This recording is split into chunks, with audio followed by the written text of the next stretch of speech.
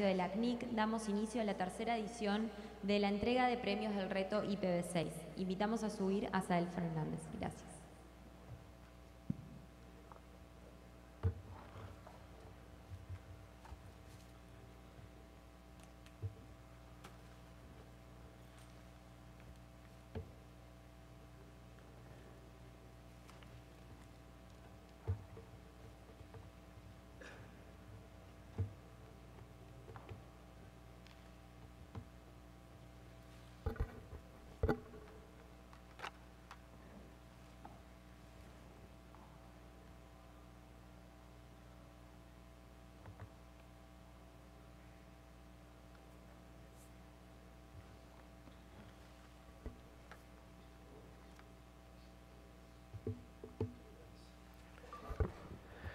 ¿Qué tal? Buenos días a todos. Eh, bueno, nada más voy a, voy a dejar esa presentación, nada más para comentar que bueno, fue la, última vez la edición del Foro Latinoamericano IPv6, que ahora ya está integrado en el Foro Técnico.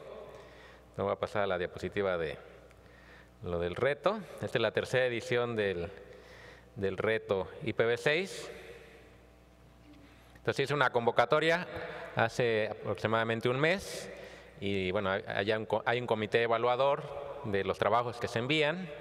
Se hizo también un webcast con los inscritos, hubo varios participantes y hubo 31 personas registradas que pueden haber sido de, una misma organización país, fueron de 13 países, hubo algunos ISPs y universidades. Fue eh, durante 15 días aproximadamente el registro y en un mes, como comento, tuvieron que cumplir avances. La diferencia con el retos, los retos anteriores del año pasado es que ahora se le da oportunidad a los que ya tenían despliegue de IPv6, tenían que demostrar durante el reto más despliegue de IPv6 y justificación de por qué sí y por qué no habían avanzado. ¿no? Esa es la diferencia, porque anteriormente nada más eran los que no tenían desplegado IPv6, aunque podían haber tenido también ya un bloque asignado. Entonces, los resultados, bueno, eh, cuatro ya tenían bloque IPv6 antes de, de lanzar esta convocatoria del reto.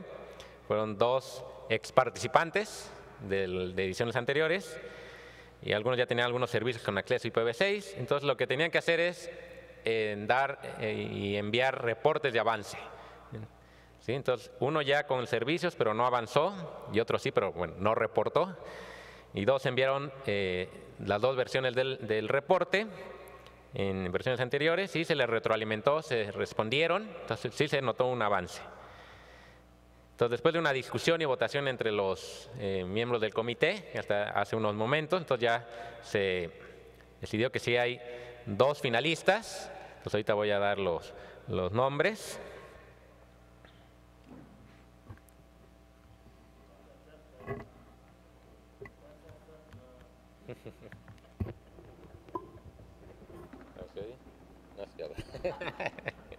Para hacerlo más en suspenso.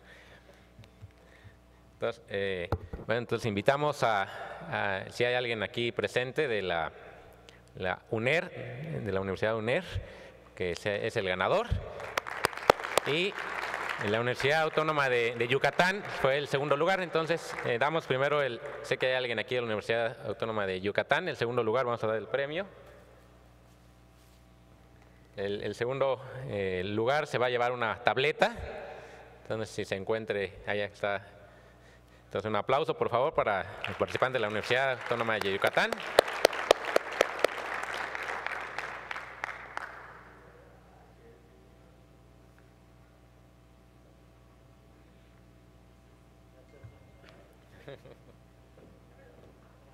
Gracias. Los chicos. Una foto.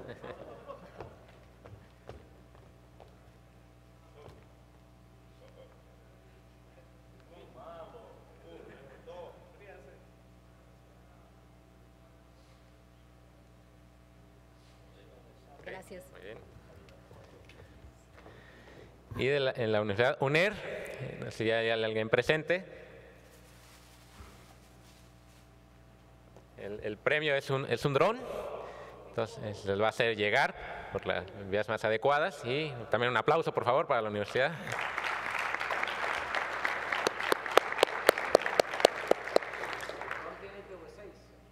Pues, Me lo probaron, lo probaron ahí, pero no sé si tenga IPv6, pero esperemos que nos puedan confirmar efectivamente. Bueno, pues nuevamente muchas gracias a todos los participantes. Si se hacen unas siguientes ediciones del reto o challenge o desafío de IPv6, les invitamos a que siga motivándose el, el uso y despliegue de, de IPv6. Muchas gracias nuevamente. Felicitaciones a los finalistas y bueno, ahora iniciamos el foro técnico de la CNIC. Le damos